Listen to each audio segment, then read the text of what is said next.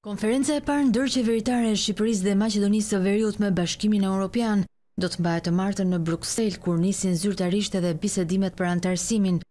Mediat në Shkup shkruajnë se kryeministri Dimitar Kovaçevski do të lexojë deklaratën hyrëse në gjuhën maqedonase.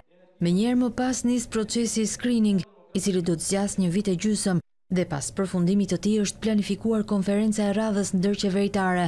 e cila do të mbyllë fazën e parë të çeljes së negociatave për anëtarësim, por në rastin e Shkupit mbajtja e konferencës së dytë do të kushtëzohet me ndryshimet në Kushtetutë. Ditën e diel Maqedonia e Veriut dhe Bullgaria nënshkruan në Sofje protokollin dypalësh pas një takimi të komisioneve ndërqeveritare, ku morën pjesë ministrat e jashtëm nga të dyja vendet, Bujar Osmani dhe Teodora Gençovska.